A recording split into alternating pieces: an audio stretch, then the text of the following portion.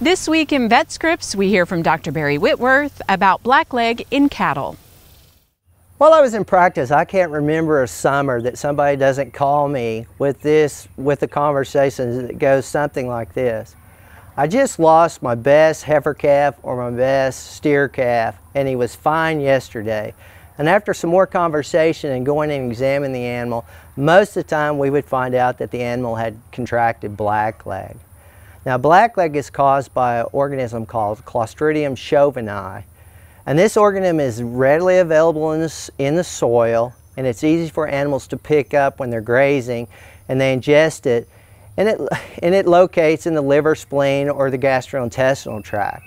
And then when we have some type of bruising or injury issue, these spores will then mobilize to that area and then you'll get the infection started and these animals and these spores release toxins which in, inevitably kill this animal.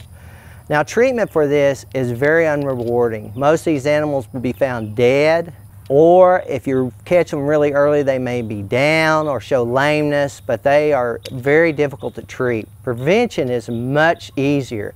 And prevention is easy. All we need to do is make sure these animals receive a vaccine sometime between 60 and 90 days and repeat that at four to six weeks.